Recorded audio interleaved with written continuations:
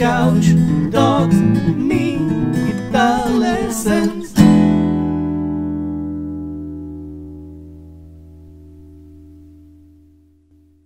Hey there, Lick and Riffers, how are you doing? Welcome back to yet another awesome lesson right here on LickNRiff, in which I'll show you one of the most versatile chords I've ever come across. And by versatile, I mean that by using one shape and one shape only, you can play six different chords.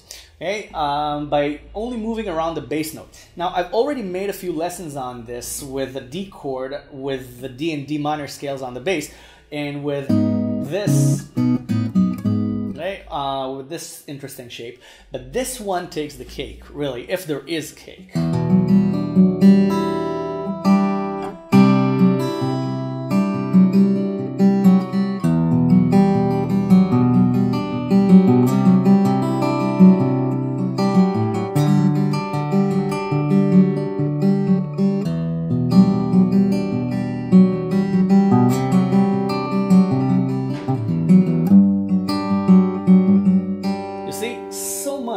So so much sound, so many colors out of the same chord.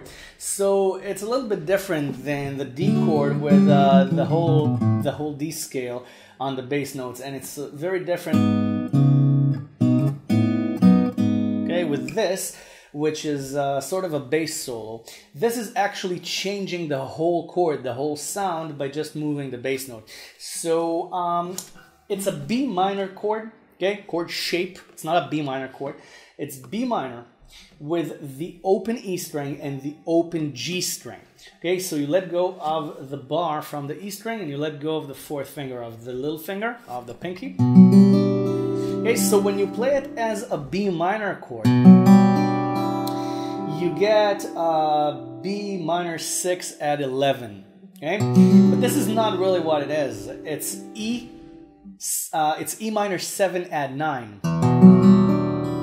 That's what the chord is. It's E minor 7 add 9. Okay, because you have the minor 7. Okay, it's an E minor with the 7th with the add 9. Okay, so you have this beautiful expression. This is E minor 7 add 9. If you take the finger from B to C, to 3 on the 5th string, you get a C add 9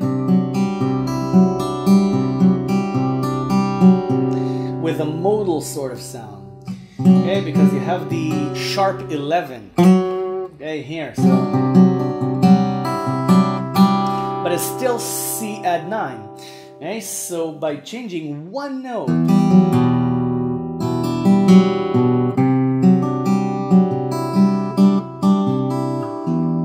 Hey, you get a C add 9. If you play the D note, 5 on the 5th string, you get a D chord. Hey, you get a D, uh, D6 add 9. No, not 6, sorry. D, D add 11 add 9. D add 9 add 11. Hey, you, ju- you, have the 11 on the low note, but it's D add 9 add 11. Just by using 5 on the D string. If you have G,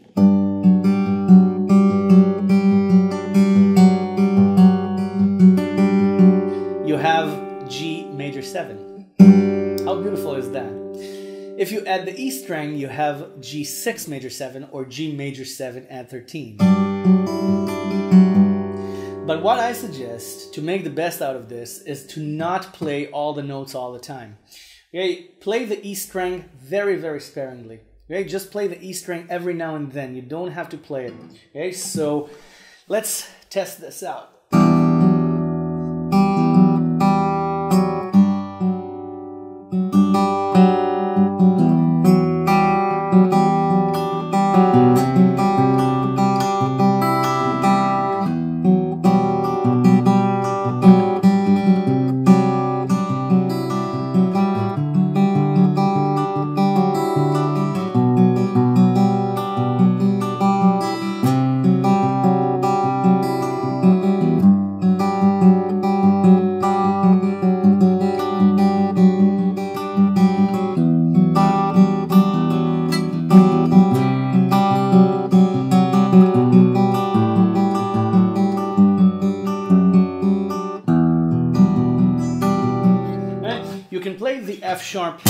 As well because then it's B minor 6 over F sharp.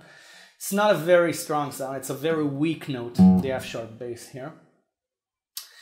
Uh, and you can play the A bass as well. Okay, but this is D over A.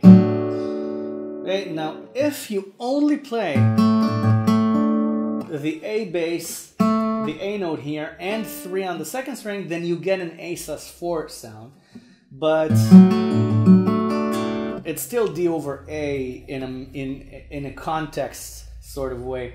So you don't really get an A chord there. But you can play the A.